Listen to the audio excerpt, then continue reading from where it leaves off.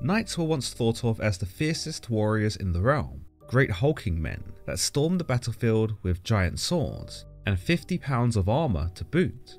So it goes without saying that these were probably muscular dudes. But how did they go about training back then? Hey, how many sets have you got left? I'm still using all this, bro.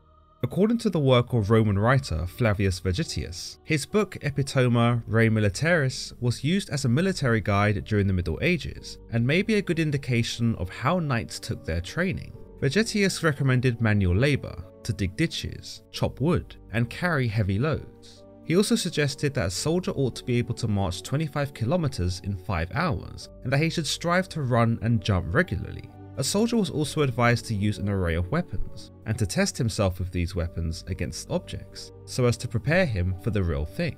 He was also encouraged to ride horses, and if he had no access to a horse, he should train with a wooden one.